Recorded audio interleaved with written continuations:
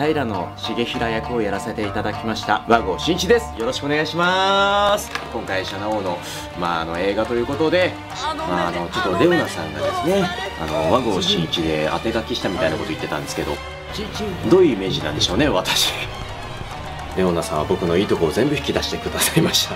なんか。生き生きとできましたねやっぱりその撮影の期間とかもねずっとやりくりしてたので本当にあの飲み物とか飲んでると知らず知らずのうち小指が立っちゃってたりとかねしてたんですけれども。ということでですね、えー、また、えー、平野重平、えー、スピンオフでお会いしましょう。以上平和の輪に合格の号真実はいつも一つと書いて和合真一でした。ありがとうございました。じゃあね